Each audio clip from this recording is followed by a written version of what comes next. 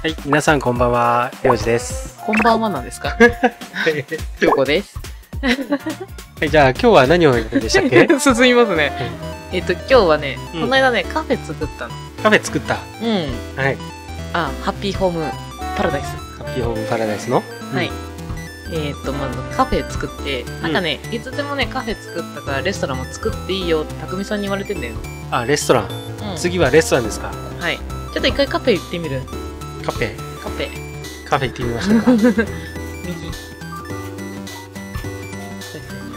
これこれこれ。これがね、うちのカフェでございます。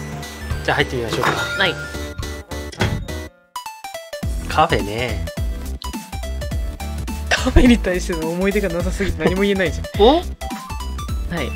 おお。おこれが私のもうカフェですわ。え、ちょっことねれ、りょうこさん作ったの？そうそう、ちょっとこじんまりしたカフェだけどね。すっごいいいな。うるさいな。私の思うカフェはね、うん。はい。ちっこくて雑貨がいっぱいあるっていう意味ですわ。ポテト食ってんの？うんポテト。いや、カフェと言ったら横文字でしょ。そう。はあ、キャンディーが接客してる。い。ね。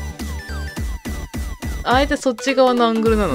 え、なんで？めっちゃ本棚が邪魔してくるじゃん、あそのアングそういル。うことね。そういうことっすね。ああ、おしゃれじゃん。意外に。意外にじゃないわ だから、うんあのねここでねちょっと買い物できるんだよ買いキャンディーさんに電話してちょっとキャンディーさんに話かじゃあ勝手に作るんじゃないよ もう節水しろやよし。キよしじゃないよャンディーさんに話すと？うんあ、虫、あ、大丈夫だったか。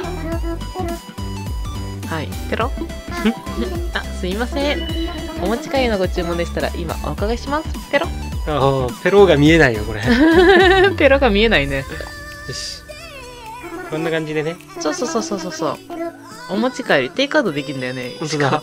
がっつり普通にねプレート書いてるって和食。和食。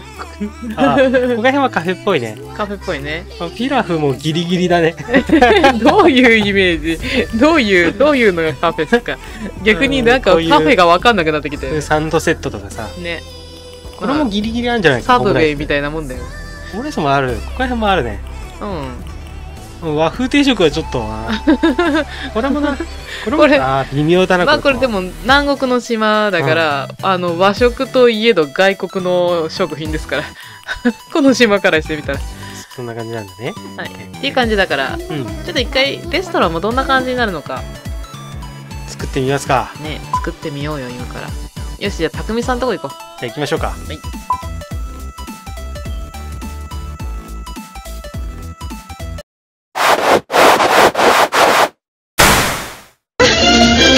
回城之内シスデュエルスタンバイ。